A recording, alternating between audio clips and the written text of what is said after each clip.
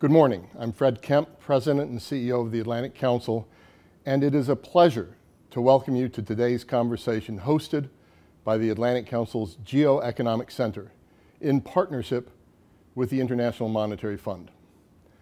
This morning marks the launch of the IMF's new paper, which dives into the inner workings of central bank digital currencies in six countries and currency unions, and that includes China, Sweden, Uruguay, Canada, the Bahamas, and the Eastern Caribbean Currency Union. Both the event and the IMF's paper could not be more timely or more significant. Last month, the US Federal Reserve announced its intention to explore the creation of a central bank-backed digital dollar. Last week, India surprised many with their plans to have a digital rupee online by 2023. So truly, the race for the future of money is underway. The Atlantic Council's Geoeconomic Center, under the leadership of Director Josh Lipsky, has been at the forefront of this issue. As cited in this new IMF report, the center's flagship Central Bank Digital Currency Tracker reveals that 91 countries, representing 90% of global GDP, are exploring issuing their own digital currency. The center's research, writing, and testimony to Congress have helped galvanize action both in the US and abroad. In short, this is important work, and this is an important day in that work. And to mark the occasion, we are honored to welcome back to the Atlantic Council Kristalina, Georgieva, the Managing Director of the IMF. Ms. Georgieva is a distinguished public servant and leader. She was previously the CEO of the World Bank and Vice President of the European Commission. She has served as the managing director of the IMF since October 2019, and in this role has steered the IMF through COVID-19's enormous economic challenges.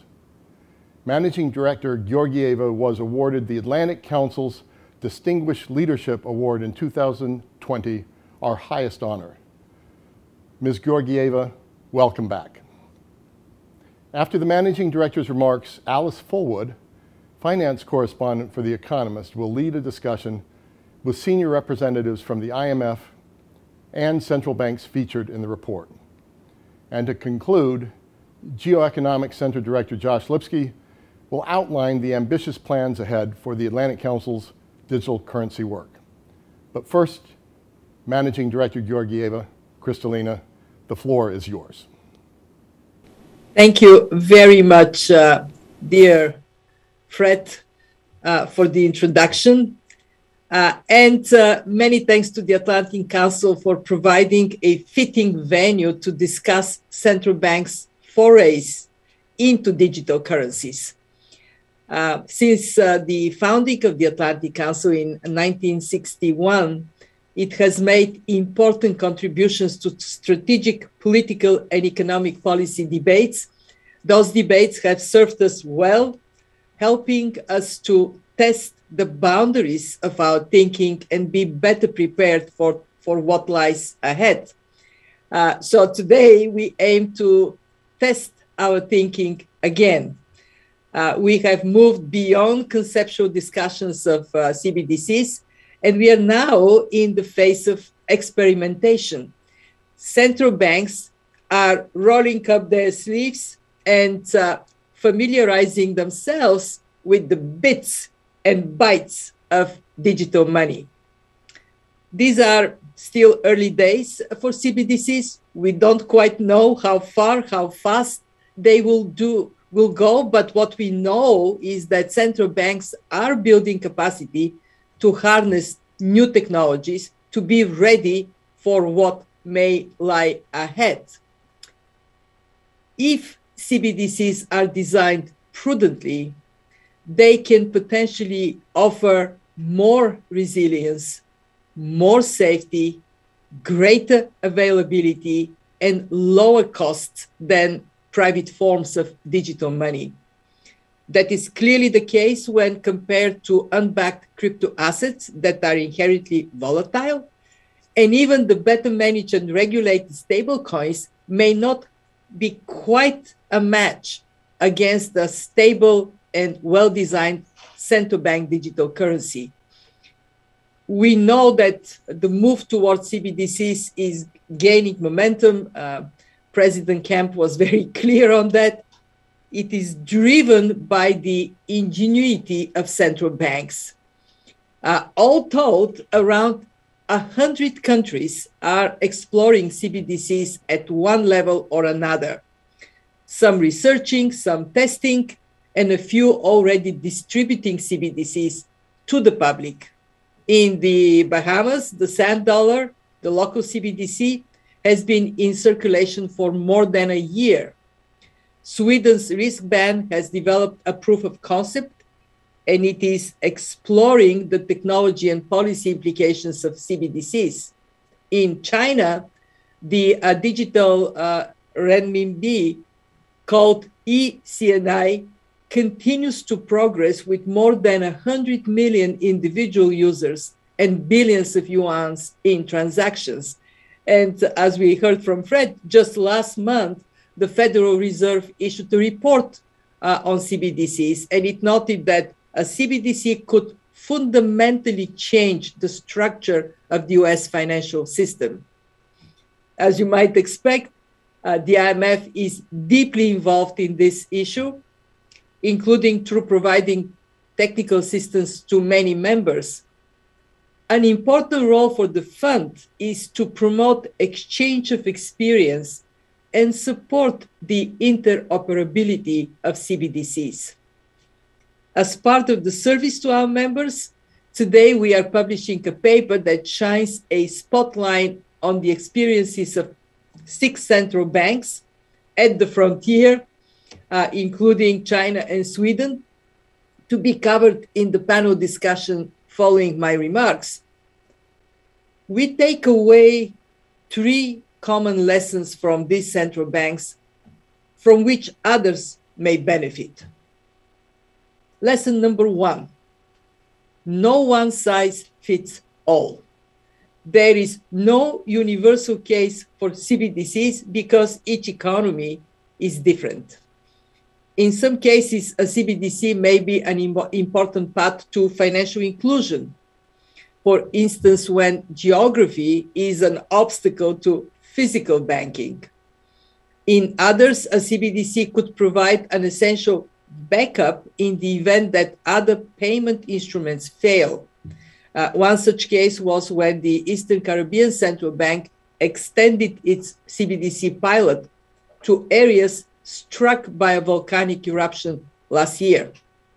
So central banks should tailor plans to their specific circumstances and needs. Lesson number two financial stability and privacy considerations are paramount to the design of CBDCs. Central banks are committed to minimizing the impact of CBDCs on financial intermediation and credit provision, very important for the wheels of the economy uh, to run, sm- run smoothly.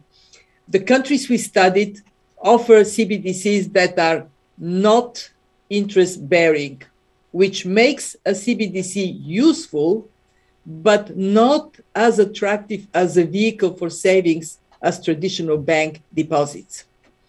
Uh, we also saw in all three active CBDC projects in the Bahamas, China, and Eastern Caribbean Currency Union that they placed limits on holdings of CBDCs, again, to prevent sudden outflows of bank deposits into CBDC limits on holdings of CBDCs also helps meet people's desire for privacy while guarding against illicit financial flows.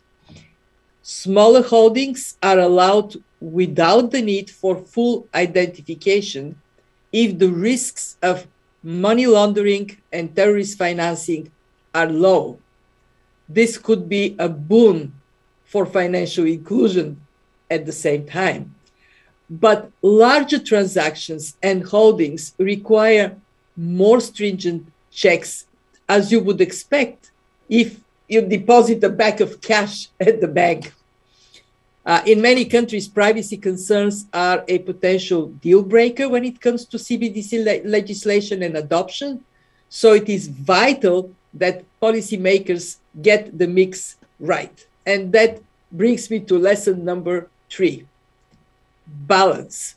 Introducing a CBDC is about finding the delicate balance between developments on the design front and on the policy front. Getting the design right calls for time and resources and continuous learning from experience, including shared experience across countries. And in many cases, this would require close partnerships with private firms to successfully distribute CBDCs, build e wallets, add features, push the bounds of technology.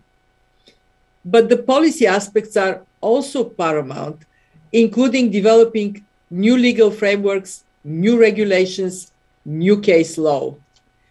Uh, on both fronts, uh, CBDC also requires prudent planning to satisfy policy targets like financial inclusion and avoid at the same time undesirable spillovers such as sudden capital outflows that could undermine financial stability.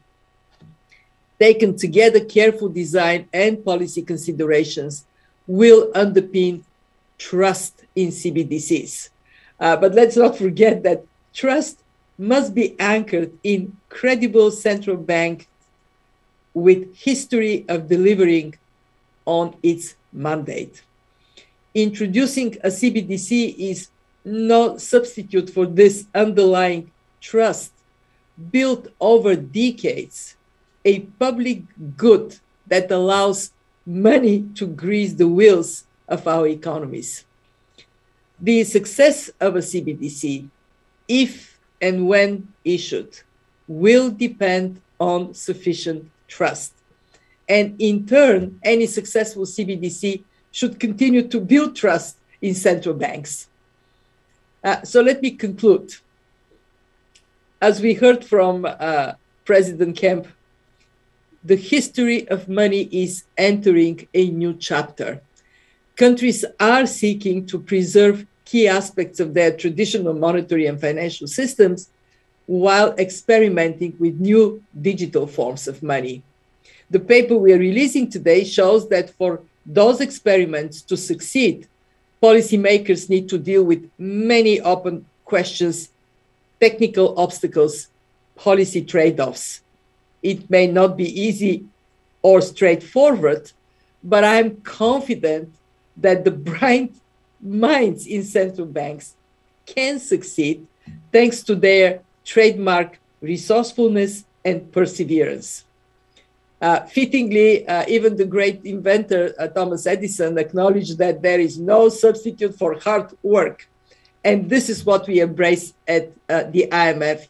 This hard work has already advanced. We are supporting countries in their CBDC experiments to understand big picture trade offs, to provide technical assistance, to serve as a transmission line of learning and best practice across all our 190 members. And we are stepping up collaboration with other institutions, such as the Bank for International Settlements, at par with the rapidly growing significance of digital money. Today's discussion is only the beginning of an exciting journey and we have a great panel to take us further on it. Thank you. Thank you very much, Kristalina, uh, for those remarks. I found them very insightful, and you have uh, very uh, beautifully summarized um, the paper. I do encourage everyone watching to, uh, to take a look at it as well. Uh, it is my great pleasure now to introduce our panelists. Um, I am delighted to be joined by Mr. Mu Changchun. He is the Director General of the Digital Currency Institute of the People's Bank of China. Uh, welcome, welcome, Mr. Mu. Um, I'm also thrilled to be joined by Mr. Tobias Adrian, the Financial Counselor and Director for the IMF's Monetary and Capital Markets Department. Hello, Tobias. Hello.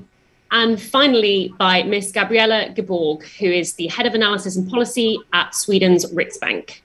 Hi, Gabriela. Hello. My name is Alice Fulwood. I write about Wall Street for The Economist, and I will be moderating uh, today's discussion. Uh, we have just under an hour uh, to talk about the paper with this with our three panelists. Uh, please feel free to ask questions using the Q&A function, and I will try to get some of those at the end. Um, one of the things that fell out of uh, remarks for me was this idea that we've moved from the innovation stage into the experimentation phase. And I guess, you know, the most urgent question to me, it seems, as a journalist, is uh, how close we are to uh, CBDCs really becoming a reality that lots of people are using in their everyday lives. Dozens of countries around the world have uh, begun uh, experimenting with these, as you should be able to see using the Atlantic Council's tracker. So I would like to give our panelists uh, a chance to, to give me a sense of how far they think we are from, uh, from making CBDCs a reality and, um, and what stage their pilots are in. Uh, could I first go to Mr. Mu? Thank you, Alice. Thank you for uh, having me here today. Um, the reason why uh, our uh, CBDC project is still running its pilot phase currently. Uh, ECNY pilots have been have been running in 11 areas, including Shenzhen, Suzhou, Xiong'an, Chengdu, Shanghai, Hainan, Changsha, Xi'an, Qingdao, Dalian, and 2022 Beijing Winter Olympics venues. There will be more cities that join ECNY pilot soon. Uh, by now, uh, nine provide private authorized operators have joined the ECNY system, including the ICBC, ABC, Bank of China BOC, uh, CCB, Bank of Communications, Postal Saving Banks of China, China Merchants Bank, uh, as well as Alipay and Tenpay in the name of their commercial banks arm. With the pilot going on, there will be more qualified private sector operators join the ECNY system. By October 8th of 2021, there were over 123 million ECNY wallets registered, uh, with individuals and around 9.2 million wallets held by uh, corporate firms. And it's accepted in more than 1.3 million merchants in pilot areas. And uh, we actually feel obliged to start our CBDC due to the following uh, motivations. First, to improve the efficiency of the central bank payment system. In recent years, we have witnessed a trend that a lot of central banks are improving their payment systems by building up faster payment systems, which will widen the access and include more participants from different sectors uh, the ECNY project uh, is one of our, our, efforts to improve the efficiency of the central bank payment system. We provide 724 services to the general public, which, which, which will greatly extend the service hours. Uh, in addition, our system realizes high, higher efficiency with the feature of settlement upon, upon payment. Furthermore, we strengthened uh, the ECNY cap capability. For now, we can support uh, 10,000 TPS. Uh, last but not least, ECNY joins hands with more participants from different sectors, including not only commercial banks and uh, uh, financial market infrastructures, but also PSPs, fintech companies, telecom operators, and so on. With the efforts, uh, we managed to increase the efficiency of the central bank payment system. Secondly, uh, in order to uh, provide a backup or redundancy for the retail payment system, we build up this uh, ECNY payment system. As you may know that Alipay and Tenpay seem to have already become significantly important financial infrastructure. If anything bad happened to them, either financially or technically, that will be uh, you know, will bring very significant negative impact to the financial system. It's, a, it's the case when Alipay and Tenpay are not allowed inside the Winter Olympics venues due to the business privilege, privilege of the Olympic sponsors, because Visa is the only one who can provide the mobile service, mobile payment services inside of the Olympic Olympics venues.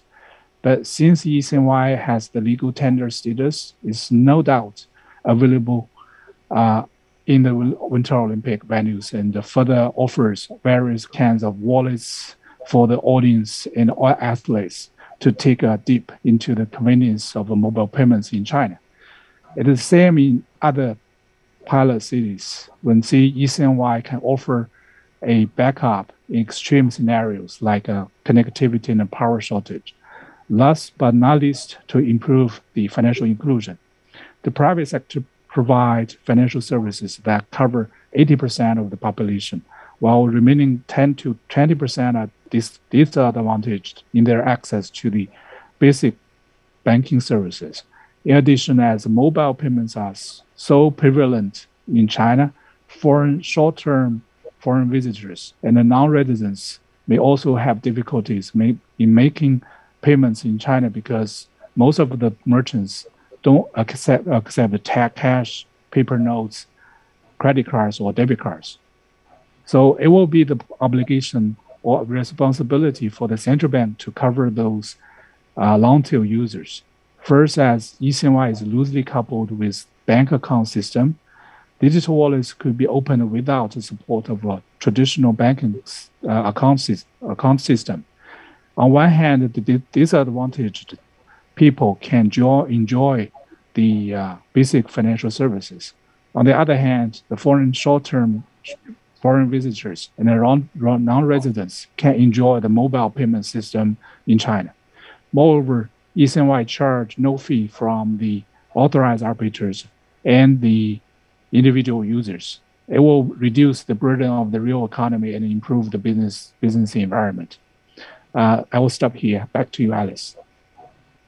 Um, thank you for that. That was um, uh, very helpful in, in clarifying, you know, where you're at with your CBDC and what your goals are. Um, can I put a similar question uh, to Gabriela? Um, the Riksbank was also sort of at the forefront of exploring CBDCs, but it hasn't yet quite launched a pilot. Um, what's holding you back? Uh, how how do you anticipate sort of uh, proceeding with your CBDC soon, and what goals are you hopeful to achieve with a with a CBDC? Well, let's start with the background why we were. Thank you, Alice, uh, for the question. Um, let, let, me start with the background why we were at the forefront. It's not that we were wiser than other central banks. Uh, it's more like the future, as Mrs. Uh, Georgieva was talking about, came to us a little bit earlier. Uh, we became fully digitalized, almost fully digitalized, very early. Um, cash almost disappeared, uh, was completely marginalized in Sweden in the last 10 years. Uh, so then, as a central bank, with our role of uh, providing um, the population with um, uh, central bank currency, we began to think, well, is the people abandoning cash because they don't feel that they need uh, the, the, the, trust given by the central bank in providing the, the unit of account, the currency? Or is it that the technology is uh, not really fit for purpose? In this new digital uh, environment. Sweden is a very digitalized uh, country, as I said before. And for example, we even have our um, transactions and, and um, activities with authorities uh, digitally nowadays. Um, so the answer to that question, so the, we began to think about the what. What do we need to do and how? So we, we did a lot of um, policy analysis on what a central bank digital currency would look like uh, at a very, very high conceptual level, uh, and what the policy implications in terms of the central bank's other mandates on monetary policy and financial stability could possibly uh, be. But we understood also very early on that this decision, the decision of uh, launching a central bank digital currency, was something that was uh, a very, very big step. Uh, a step that could not be, a decision at least, that could not be taken by the central bank by itself or alone. It needed to have um, a, a, a, broad uh, discussion with stakeholders and with national authorities and with politicians. We needed to, to, to get the support of the whole society in order to do that. Uh, so we asked the parliament, the Swedish parliament, to start an inquiry.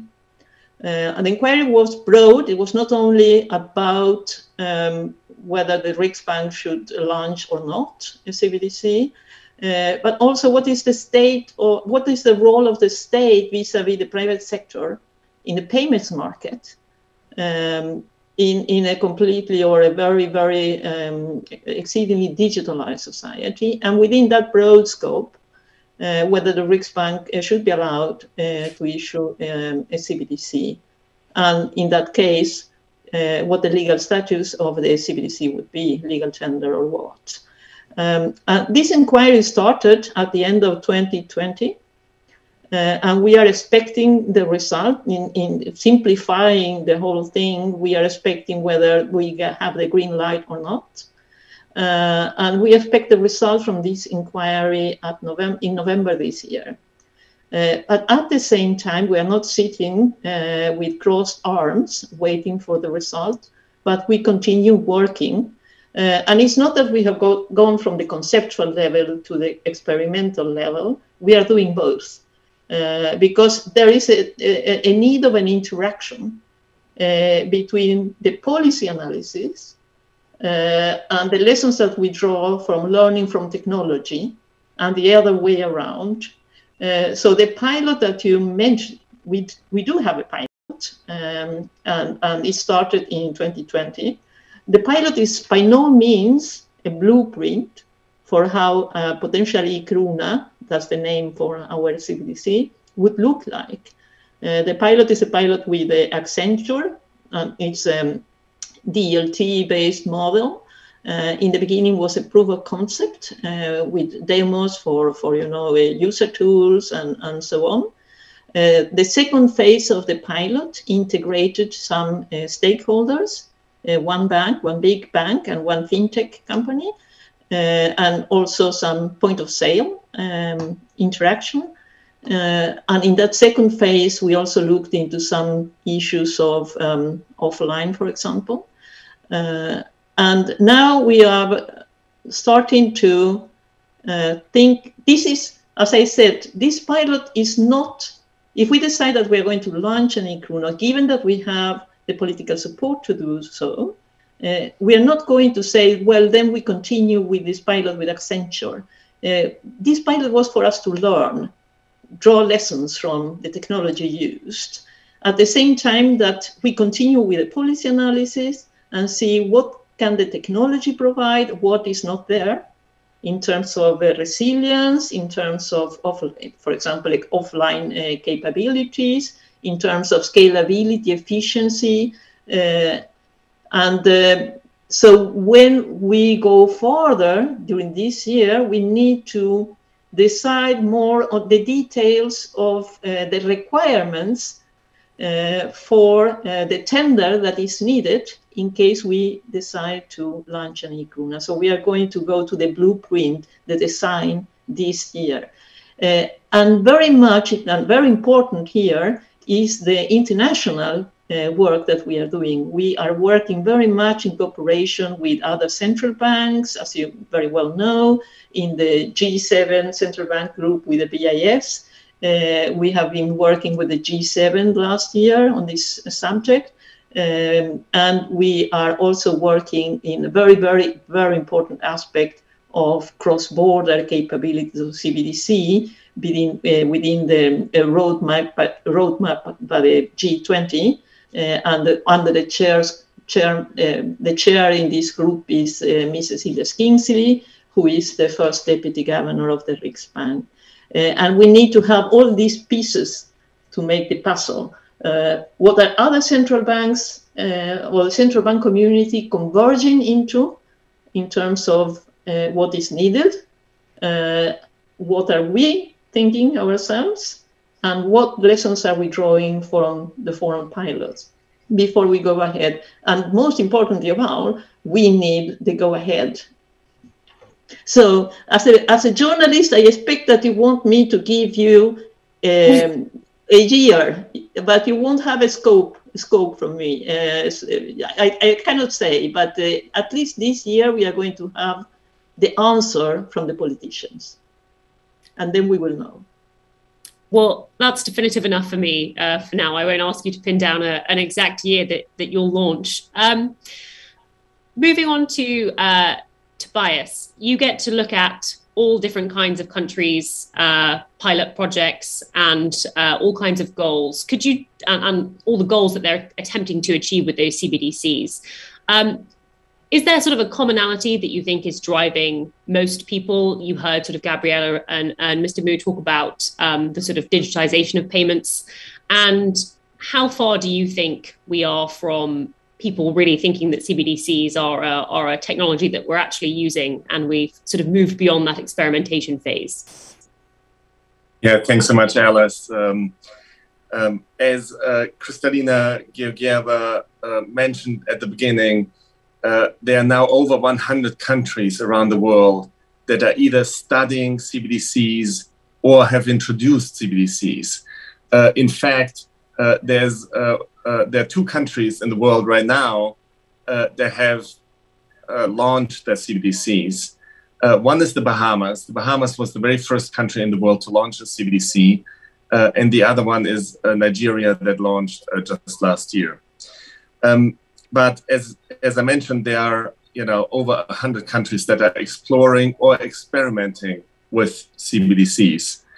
Um, the paper that we are launching uh, today, that uh, was uh, led by an IMF economist, Gabriel Soderberg, uh, is looking specifically at six countries, including China and Sweden, uh, that we just heard from, but also the Bahamas, which I just mentioned, the Eastern Caribbean uh, Currency Union, ECCB, as well as uh, Canada, and Uruguay. Um, and so let me let me uh, share a little bit uh, the motivations uh, of those uh, various countries. Um, I think the, the prime motivation at the moment is the technological change that we are seeing in payment space. Um, there are new technologies, and those provide offer opportunities for countries to run more efficient payment systems. So this is the deep uh, cause why it's happening at the moment. And clearly, in the world around us, we're seeing a lot of innovation in the financial sector, you know, which is broadly called fintech. And so countries are aiming uh, to increase efficiency in the payment system. Uh, of course, uh, as was mentioned already, trust is at the root of any payment system. So having a payment system that is trustworthy and having a CBDC that is trustworthy is uh, the prime goal of everybody. So you want it to be more efficient, but you want it to be trustworthy. And so, what does that mean? It has to be resilient. It has to be resilient against many risks. And here, the Bahamas and uh, the ECCB are particularly interesting because, of course, these are countries that are uh, islands in the Caribbean uh, that are often hit uh, by hurricanes. And during those times, cash distribution is extremely difficult. So, one of the motivations that is specific to uh, island countries is to be resilient relative to hurricanes in terms of cash distribution. Uh, but of course, there are many other uh, arguments, uh, such as Gabriela, who mentioned that the cash usage in Sweden declined dramatically, and we see similar trends in many other countries. So everybody is moving to a digital world, and it's very natural for the central bank to also uh, move uh, to be digital. Um, and of course, an, an, another important motivation is financial inclusion and access. Uh, in too many countries around the world, uh, we continue to see a fraction of the population that doesn't have access uh, to financial services, that doesn't have access to electronic payments, or if it has access, those might be very expensive. And so CBDCs can provide more inclusion and more access to a broader uh, segment of the population. You, de- you do need to have a cell phone, or at least you need to know somebody that has a cell phone in order to participate. But that is a very, very large uh, fraction of, uh, of the population. And then uh, lastly, uh, I would say that, uh, you know, as economists, we believe in competition. And a, CBDC, of course, also increases competition in payment space. and if it's well designed, it's both resilient and competitive uh, so that uh, efficiency is increased. So I think those are broadly the motivations that are shared across countries, with of course some uh, differentiation across countries as to you know what is the prime uh, objective relative uh, in one country relative to another. Uh, thank you. No, that's very clarifying. Um, I'd like to just quickly follow up with with Changchun on what it is um, that the People's Bank of China would consider a success relative to the goals that you've laid out. So you you already say you have 123 million people using the ECNY. Uh, that's about sort of 10% of, of the population. You know, what kind of coverage would you need to feel like you'd been successful in the goals of protecting your your monetary system from potential failure of one of the payments giants and those financial inclusion goals? I think you might be on mute, Thank by you. the way. Sorry. Thank you, Alice. Uh, well, actually, uh, the ECNY trials has have been running very, very smoothly uh, with increased ac- acceptance uh, by the general public. Um, because we adopted, you know, various kind of, uh, you know, uh, marketing campaigns like red packets and low carbon engagement, which has have have greatly encouraged citizens to use ECNY. Um, uh, just to give you a rough idea that uh, just in the event held by Meituan, which is a O2O platform, uh, they offer uh, ECNY red packets to encourage users to ride bikes and take public transportation and reduce carbon uh, emission. Uh, there are already more than 9 million users registered to in that uh, event. And uh, it's also the same in other events, and it's uh, definitely beyond our expectations. But we actually seek to maintain a level playing field and build an ecosystem for ECNY, not to reduce the usage of existing payment vehicles, pay, payment digital wallets such as Alipay and Tenpay.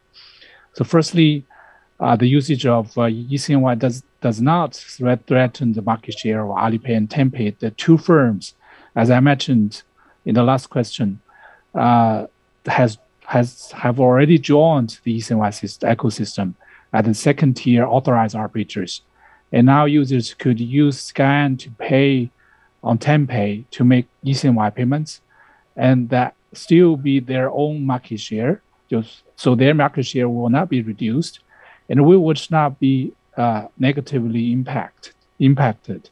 Furthermore, Alipay and Tenpay works as a wallet, and the ECNY works as the currency or the payment instruments. So we'll provide new cases for user cases for them, which will help them to innovate their business. While in the long run, will be a market-driven horse race commercial banks or traditional incumbent financial institutions will have a new start given their given that they, they could uh, provide better services with ECNY than before, then they can get back some market share from the from Alipay and Tenpay. So as to also um, so there there's there's no uh, one uh, one goal for us to uh, achieve to safeguard or diversifying the payments because Alipay and, and Tenpay, or you call it WePay, they, they are already in the ecosystem. So in terms of uh, monetary sovereignty, as I mentioned above, is the mandate of the central bank to ensure the public direct access to the central bank money. Our pilots have already enabled the general public to have a wider and steady access to the fiat currency, thus to help realize that goal. So, um, I mean, uh, that goals are already achieved with the trials. Back to you, uh, Alice. Uh, thank you. That's very that's very helpful. Um, just just very quickly, uh, you have your own app as well as interoperating with with WePay and um, Alipay, right? So, do, do you want your own app to become the one that people use with the CBDC, or or do you not really mind either way?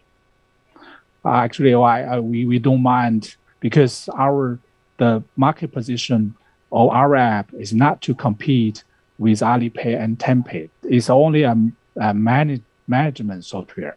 People to use that app to manage the uh, or or configure their their uh, payment instruments like uh, they can uh, they can manage the the caps uh, in in different use cases. For example, to prevent any telefraud, they can reduce the cap or the, the, the limit on in one use cases and and, and uplift uh uplift in another use cases is to the goal of that app is to manage or make configurations of their payments instruments. Is not to compete with the all those uh, market uh, you know players. So in the end or in the long run, I, I mean this app will actually go back to the stage, uh, to the backstage instead of uh, being the players in the field. Uh, yes, thank you for clarifying uh, on that point. Um, okay, we've talked a little bit about about goals and where all of you are at with your pilots and experimentation phases. Um, now we get to move on to uh, to some of the risks associated with uh, rolling out these uh, CBDCs. Um, can I go to, to Tobias first? Um, in the IMF report, you know, as uh, Kristalina laid out, a lot of the CBDCs that have been launched have caps on balances and also don't pay interest. And those are sort of defensive features to prevent um, undermining the the sort of bank deposit system um, in a lot of countries. Could you just explain how important that is? And you know, is that the biggest risk associated with CBDCs? Do you think those design features solve it? Um, yes and yes. so I think uh, this is certainly uh, a significant risk that uh, central banks are, are considering very carefully. Um, um, so the credit intermediation by the banking system is vital for economies to grow. And uh, of course, banks take deposits that are then transformed into loans to corporates and households. Um, and so by introducing a CBDC, uh, you uh, don't want a significant drainage of deposits out of the banks into the CBDC. There will be some of that, but it has to be within bounds. And so there are really three risks uh, that uh, central banks are concerned about. So the first one is that there is sort of like a structural shift away from bank deposits into CBDCs uh, and what the magnitude of that shift is. And so, uh, offering uh, zero interest rates, or perhaps in the euro area or some countries uh, with negative interest rates, these might even be negative interest rates on the CBDC, uh, that make uh, holding CBDC relatively unattractive to deposits because, of course, commercial banks can offer interest rates on their deposits. Uh, and so that should contain the structural shift of liabilities out of the banking system. Uh, a second concern is, is bank runs, right? So if there's a confidence crisis, and in particular, is if there's a crisis in the confidence of banks, there could be a sudden outflow uh, from banking liabilities into CBDCs uh, because CBDCs, of course, are the liability of the central bank. So they would be uh, considered as being very trustworthy. And um, so this is why uh, many countries are imposing limits on how much CBDC uh, any individual uh, can own or how many, how big the transactions can be. There are different design features in different countries. And then the third risk is for, particularly for emerging markets, and developing economies, um, that there could be a flight from domestic currency into foreign CBDC. Because, uh, so that's a kind of like form of electronic dollarization, right? So dollarization has always been a struggle uh, for countries uh, that are viewed as being unstable. But of course, once you go to a fully digital world, uh, that kind of uh, dollarization or, or cryptoization or CBDization could be that much uh, that much quicker and and and and uh, more dangerous. Um, so that's a third consideration, and here uh, the only tools that policymakers have are, are very dramatic. So these are capital flow measures. So these are measures to basically contain the degree to which you can take uh, money into foreign CBDCs. So let me stop here and turn back to Alice. Uh, yes, no, that was all. I mean, I was going to say clarifying, but also scary. All of uh, all of the risks uh, you described.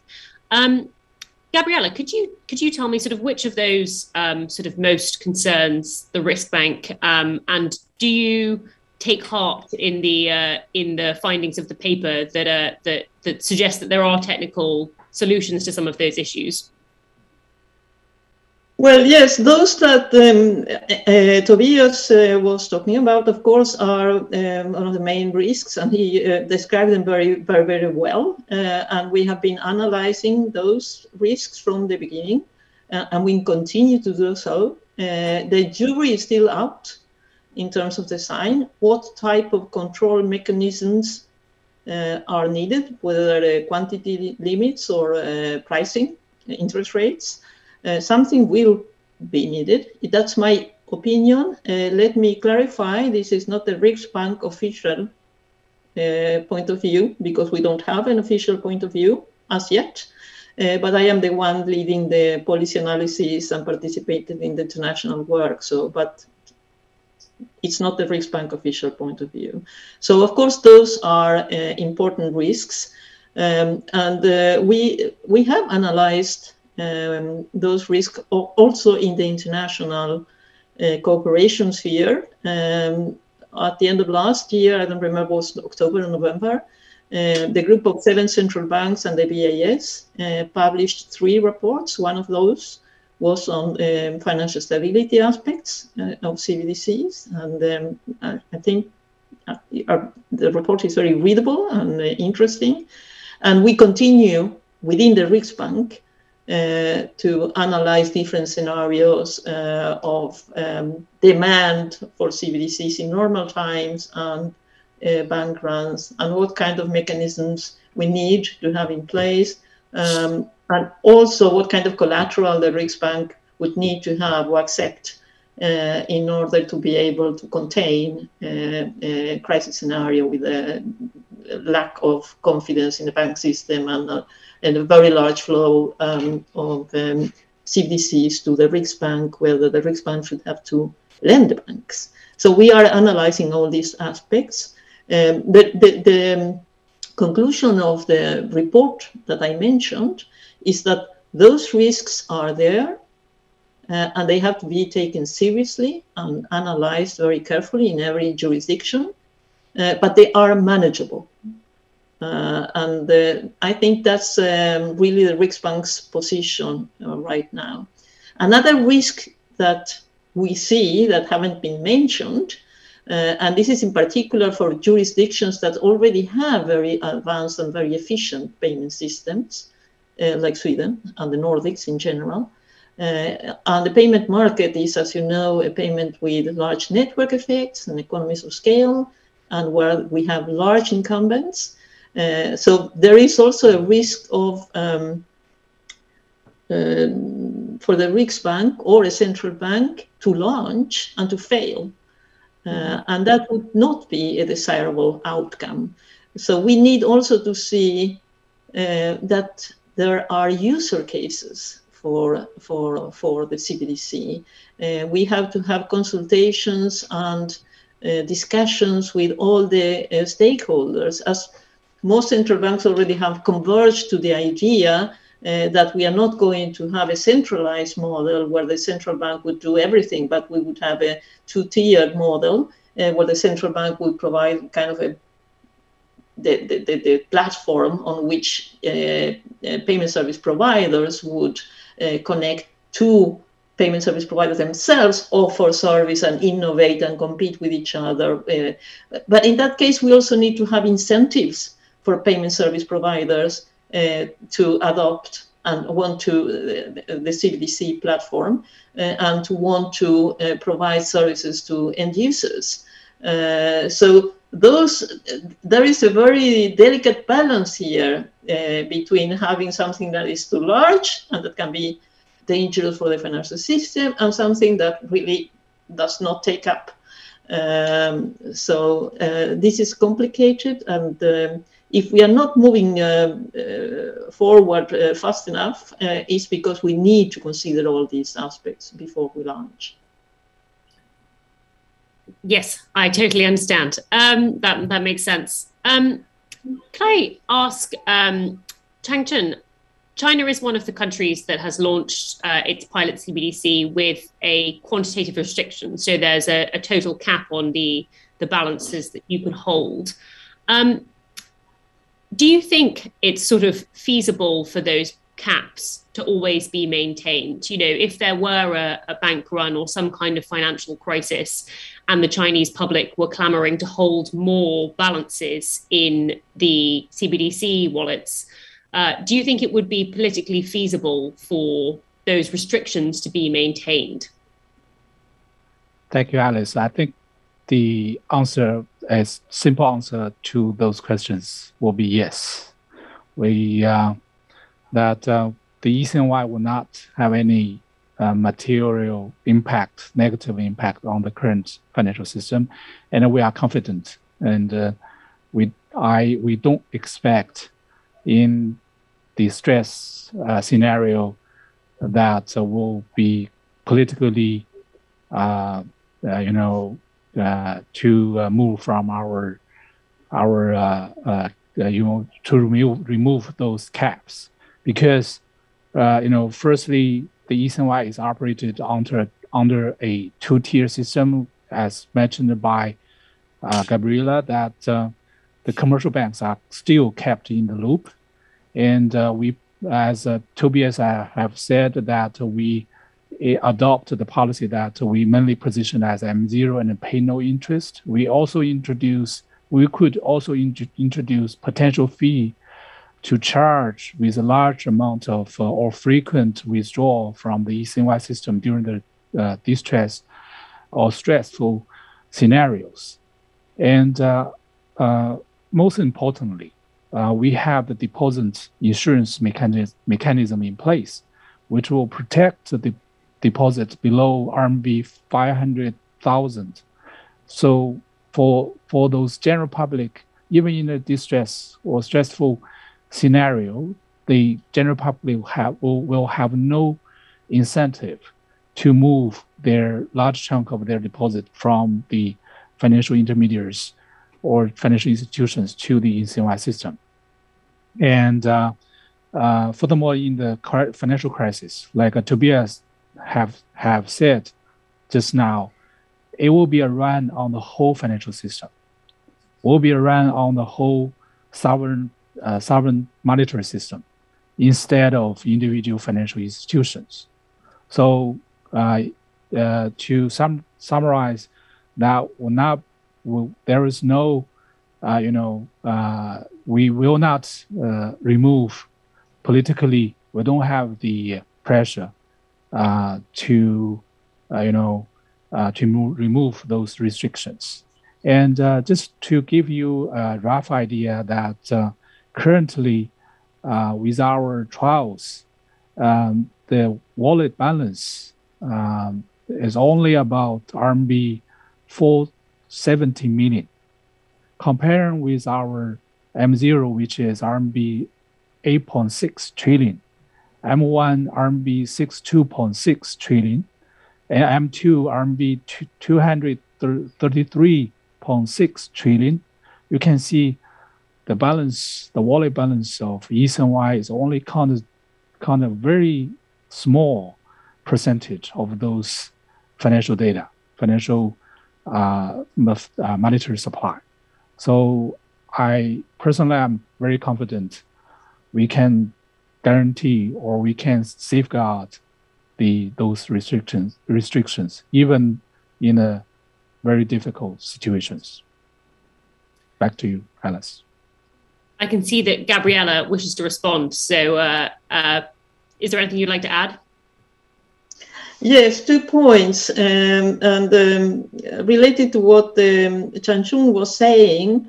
Um, sometimes, uh, particularly the arguments coming from from the incumbents, from the banks, um, these um, financial stability risks are a little bit exaggerated. Um, we have in Sweden right now um, currency in circulation to GDP is 1%.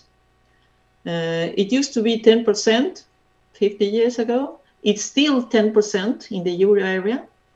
Uh, assuming, um, which is a large number, we don't have any goal there, assuming that we would have CBDC usage uh, corresponding to 10% uh, of GDP, uh, this doesn't seem to have disintermediated the banks in the euro area.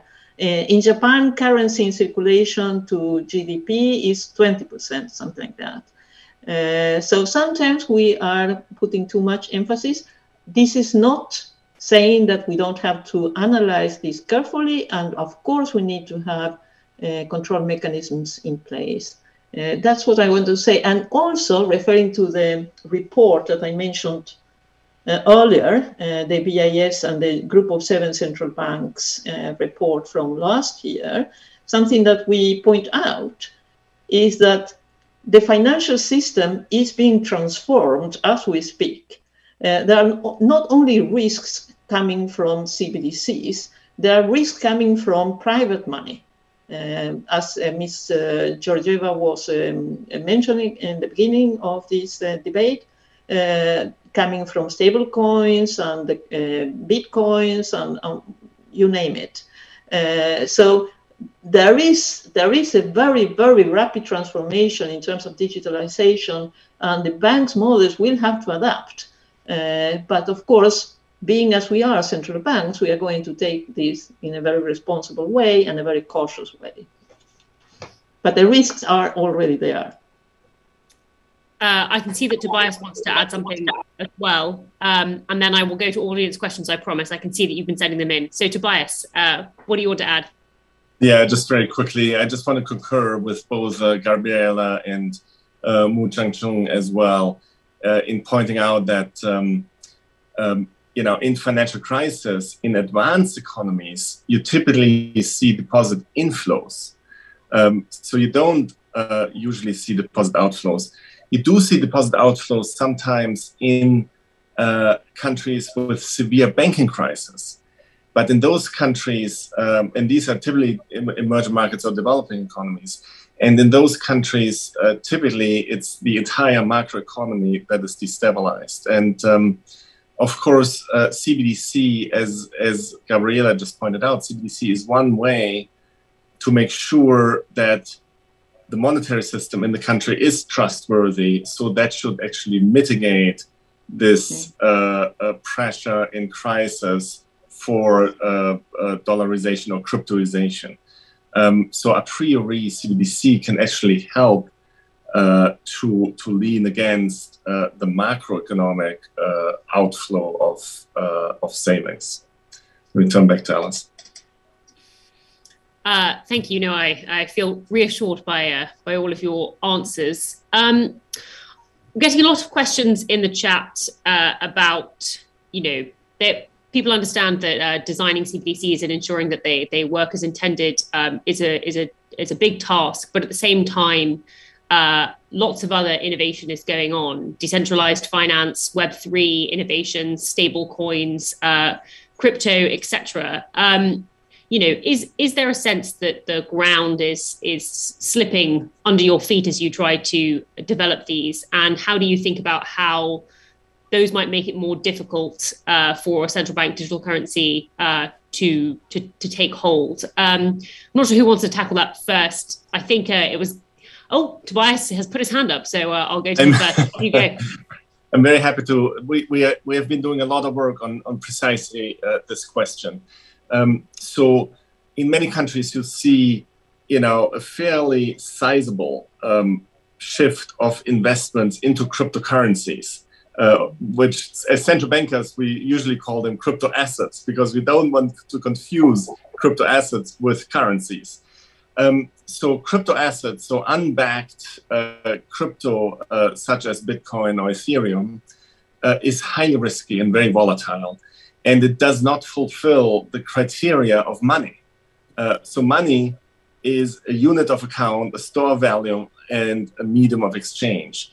And um, you know, crypto uh, uh, doesn't really fulfill that because it is so volatile and it's not generally accepted, uh, and it's not that cheap to transact.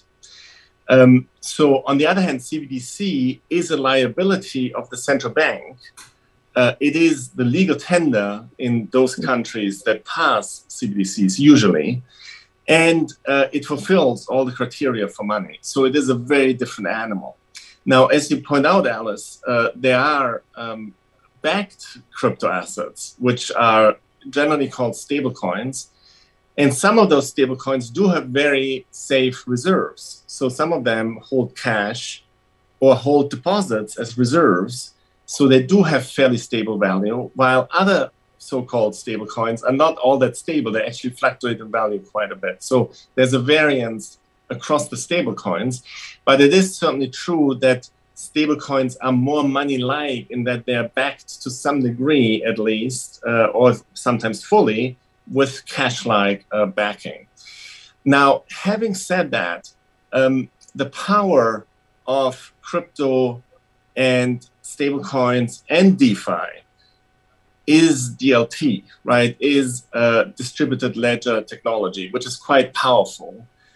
And uh, when we look around the world, and this is documented in the paper that we're launching today, um, many of the pilots do use DLT technology. So they're not per se crypto assets, but they do use certain aspects of this technology. Not all do that, but many do that because it is a very uh, parsimonious and very powerful uh, technology to use.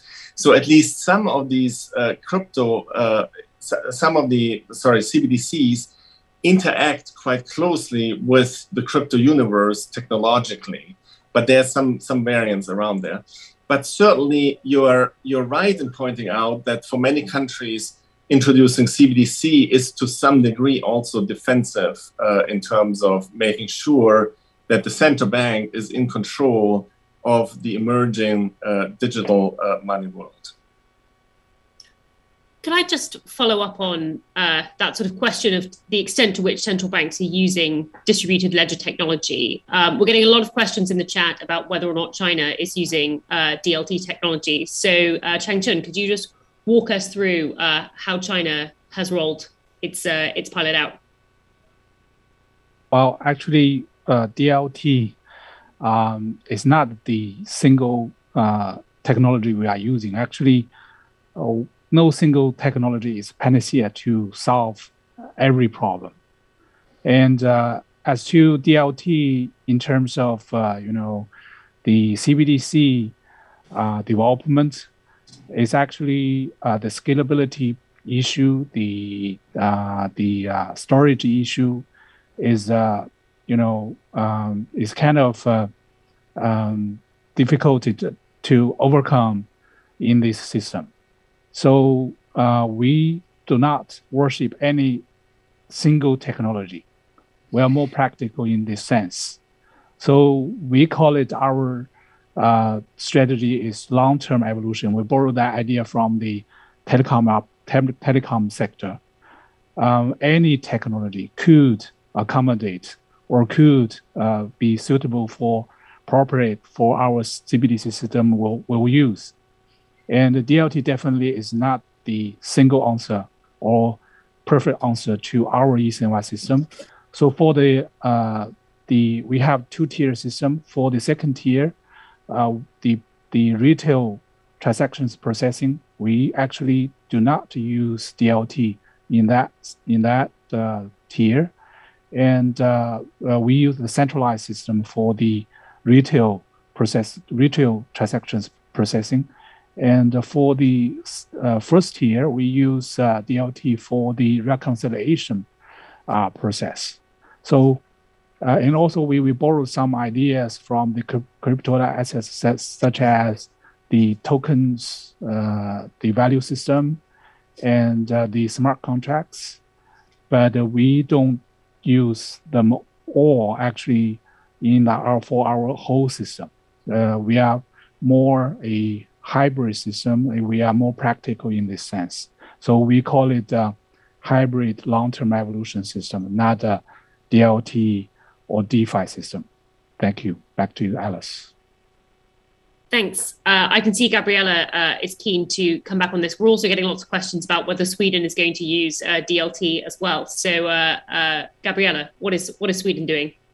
Thank you, Alice. I, I, I, wanted to ask a clarification question to to uh, Chun first, if I may. Okay.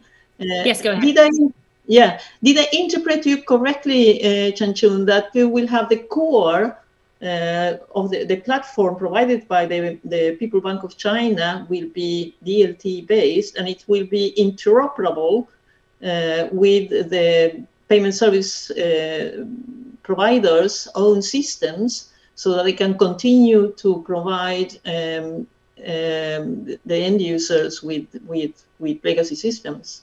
Is, is that the interpretation? Is that interpretation correct?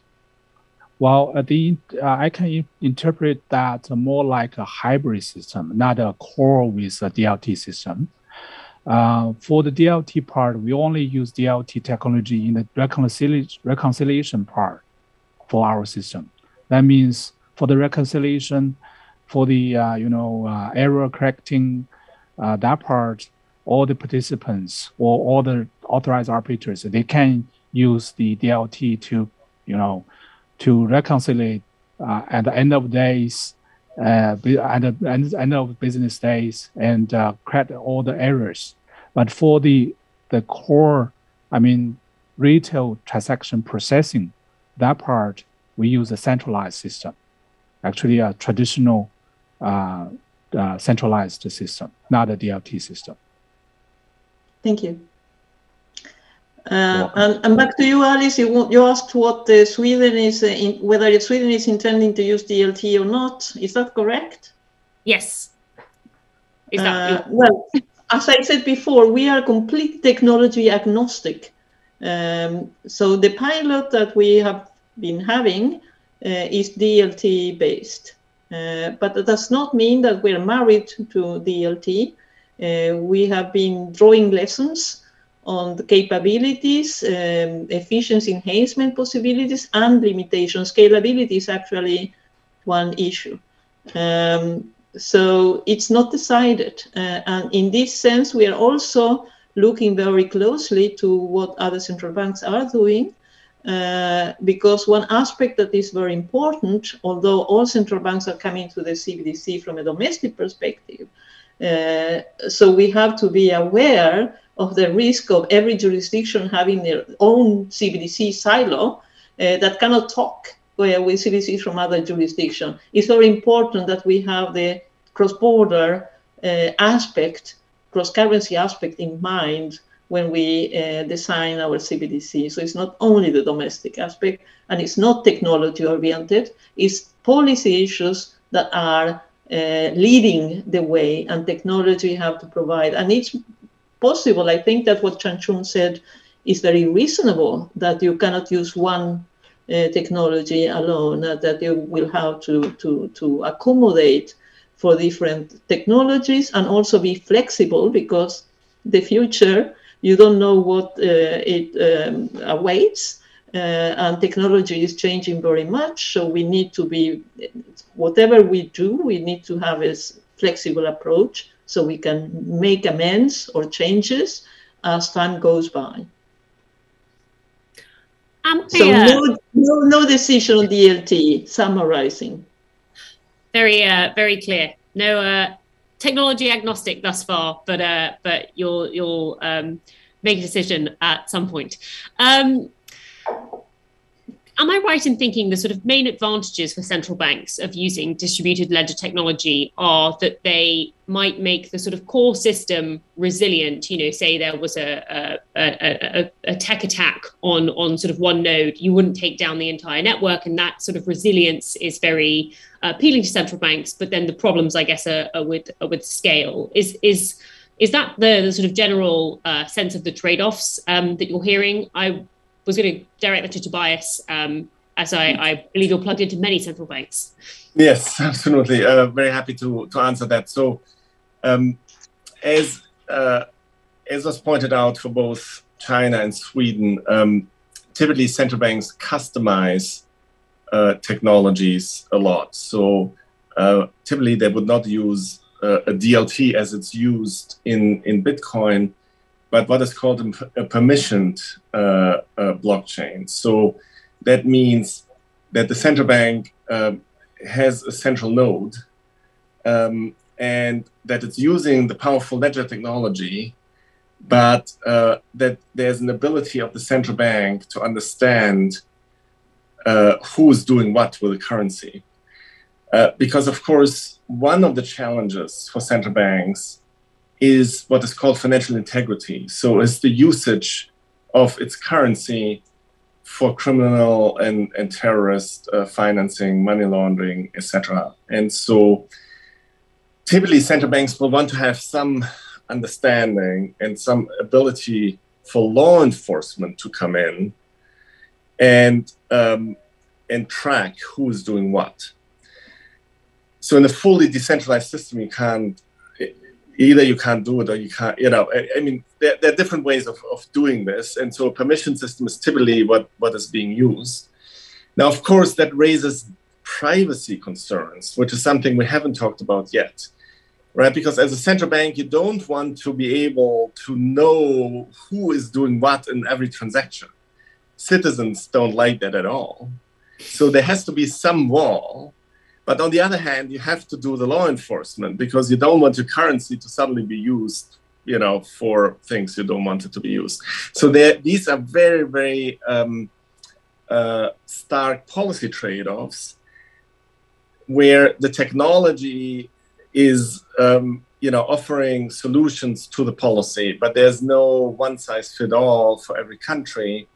Um, you know, the Bahamas, which has a working digital uh, uh central bank digital currency, is using DLT, as is ECCU, but many other countries are either not using it or are using some sort of variant, uh, such as a, a, permission blockchain. So, so I think um, I, I, would agree that you know it's not the technology that should be driving the CBDC; it's the policy framework, and um, you know the policy objectives that should be driving the technology. And then um, you know how how that ends up uh, depends on the country. But interoperability across borders of course is very important. And um, you know this work under the uh, under the framework of the fsb on cross-border payments in particular there's one working group 19 which is about the cross-border interlinkages of cbdc's and interoperability is extremely key to get to a global financial system and a global monetary system that is going to be smooth and interoperable while being safe. So, you know, the complexity is, is very high. Uh, and that is why we see some progress, but we also see a lot of thinking uh, uh, all around the world, and everybody is watching everybody else to learn from, uh, you know, what you see out there. Yes, we're getting a lot of questions about cross border payments and interoperability of CBDCs. Um, I'm going to put one quick one to, uh, to Changchun first, um, which asks whether the PBOC is exploring uh, an ECNY in Hong Kong in particular that might allow people who live there to get ECNY wallets. Uh, is that something you're, you're looking at? Uh, yes, uh, but uh, you know, the ECNY project is carried out primarily out of domestic considerations. So we focus on the uh, the domestic retail sector because we positioned as ECNY as M0, which, which actually mainly used in the domestic retail market. But of course, we in response uh, to the uh, initiative of G20, we also explore uh, that whole CBDC, such as uh, ECNY, can be used to enhance the uh, cross-border payments. In this process, we have uh, uh, exploring the possibilities with the Hong Kong MA in terms of to have interoperability of with ECNY between ECNY and the fast payment system of Hong Kong uh, to see whether we can uh, uh, speed up or solve the trilemma of the cross-border payment issues. But of course, during in that process, we uh, introduce the principle of new uh, no disruption, which is similar to the do no harm principle and the compliance inter interoperability uh, principles in in this in in our in our research. Uh, for the, the noise disruption, we think the uh, CBDC supplied by, one central bank should not should continue to support the healthy evolution of the international monetary system, and uh, should not disrupt other central banks' currency sovereignty and their ability to fulfill the mandate for monetary and uh, financial stability. Um, and the second, compliance. We have to comply with the uh, local uh, regulations and laws of the jurisdiction concerned, such as capital management and the foreign exchange mechanism, and also the regulatory requirements for AML and CFT. And thirdly, that is interoperability. Um, the development of CBDC should fully tap the role of existing infrastructure and leverage the fintech uh, the so as to enable interoperability between CBDC systems of uh, different jurisdictions, as well between uh, CBDC system and incumbent payment systems. And the currency conversion will be processed on the virtual border between wallets. So uh, in that case, uh, there's no, uh, you know, uh, the financial risks such as currency substitution since the domestic CBDC should be converted to the other currencies as payments cross borders uh, to avoid the potential adverse macro, uh, macroeconomic implications. So um, that those are the principles that we adopted in the uh, research with the Hong Kong MA uh, about the, uh, the cross-border payment services. Back to you, uh, Alice do you I'll, I'll, go to the other panelists on this as well. Do you think it's it's possible to build a CBDC that's interoperable with other CBDCs tech and works um, across borders without creating some sort of risk of currency substitution? Um, uh, let's go to Gabriela first. Is that possible? Well, this is something that we are currently analyzing within the, the building block 19 that Tobias was uh, mentioning, and it's very much the IMF involved in this analysis, in the do no harm at the cross-border level. Um, I would say that um, digital dollarization uh, is mostly um, dollarization in general is mostly a problem of economy that is not, you know, well managed. Um, but uh, you, you, you still have the problem, uh, and we need to have also mechanisms here. Changchun was mentioning some in order to um, mitigate the risks of um, um, too large currency flows from one country to another, especially from emerging markets, for example, that are more prone to uh, those risks. Uh, I don't have the silver bullet. This is something that is being analyzed now. Um, but they do no harm. That is the first principle that central banks agreed on um, in the first report that the group of seven central banks and the BIS published in 2020. Uh, is the first principle, and uh, it has to also uh, be uh, present at the cross-border level uh, to mitigate those risks. Um, Tobias, is, is the IMF the standard setter here for uh, for creating that cross-border uh, linkage without uh, without risking currency substitution?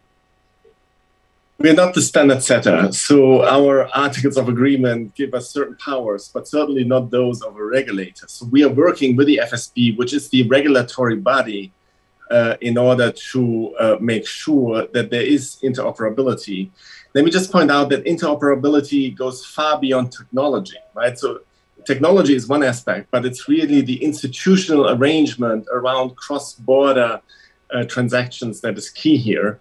And let me point to two, uh, two uh, different models that are possible. So one is where um, CBDCs in any currency can be held in any country, right? And so uh, there you certainly have a, a risk of uh, dollarization or, or CBDization, uh, but that foreign CBDization. Um, but of course, the response to that is sound macroeconomic policies, you know, sound institutions. You know, a country like Sweden, for example, is is is not too worried about being euroized or so or, or dollarized, right? Because you know it has very sound institutions, which is not the case for all countries.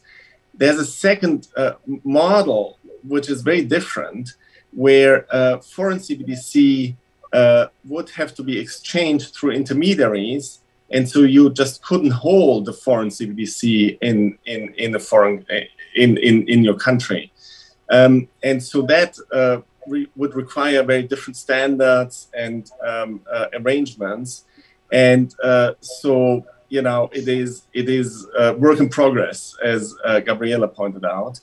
Uh, on dollarization, the first best is is good policies in the in the overall uh, institutions, the macroeconomy, etc. Um, okay, I think I have time for, for one final question, and I'm going to put it to uh, to Changchun. Is digital dollarization something China is uh, acutely worried about, or or do you feel safe that if a, a dollar were introduced, it would not sort of threaten China?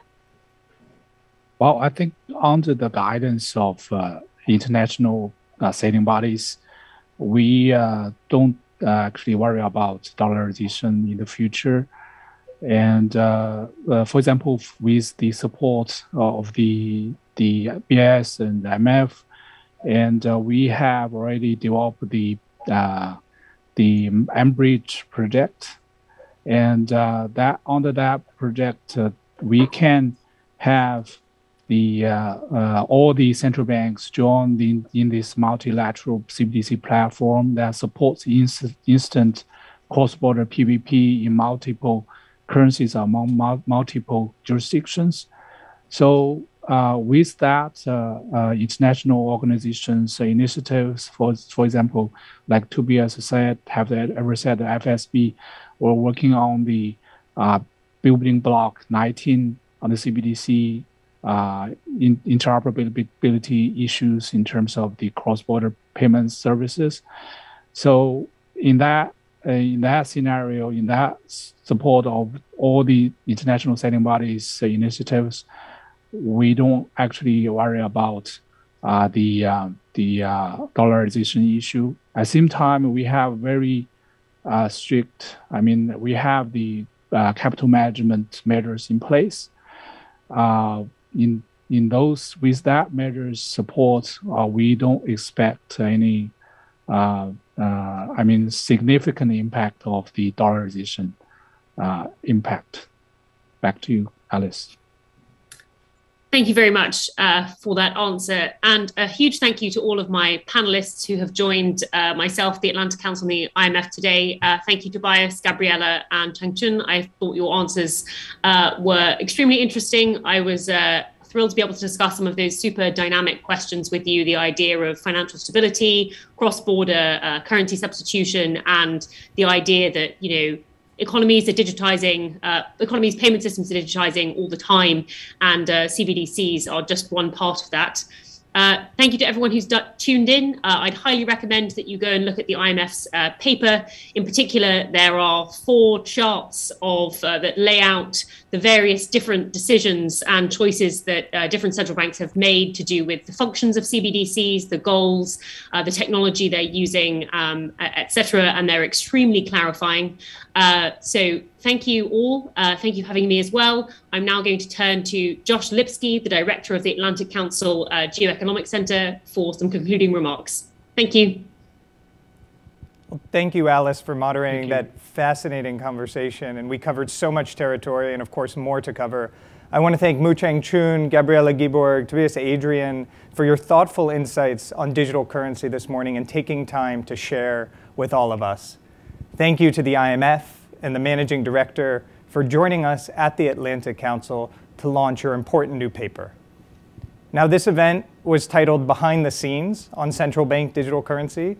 And the truth is that there are many people at the Atlantic Council, at the IMF, at the Swedish Riksbank, at the People's Bank of China that work tirelessly across many time zones for weeks behind the scenes to make this event possible. So thanks to all of you. And we heard two clear messages today. The first is that over 100 countries are exploring a central bank digital currency. Think of the rapid change from just a few years ago to today. And they are learning from the innovations of the central banks represented here this morning and in the IMF's new research paper. The second thing we heard, and this is equally important, is that very few final decisions have been made. How will a CBDC work with the commercial banking system? Will it use distributed ledger technology or not? Or as we heard, maybe a hybrid? Will it be account or token based or both? Will it interact with stablecoins and other private sector options? What about cross border? These decisions will be made in the year and years ahead, but they will shape how the entire world uses money for the decade and decades ahead. And that is why we have made understanding this shift and this transformation a core pillar of our work at the Geoeconomic Center. Next week, we will host a two day conference with our partners at the University of California, San Diego on digital currency in the Asia Pacific. Next month, we will launch new research on cybersecurity and digital currency. It was brought up today, one of the most important challenges facing both policymakers and engineers in the US and around the world. Our goal is to bring voices together, to learn from one another, like I think we did this morning, and help build a financial system that is safer and faster and more inclusive, all at the same time. You can register for our events and publications at the link in the chat Keep an eye out for everything that's coming from the Atlantic Council Geoeconomic Center. Thank you for being part of today's launch.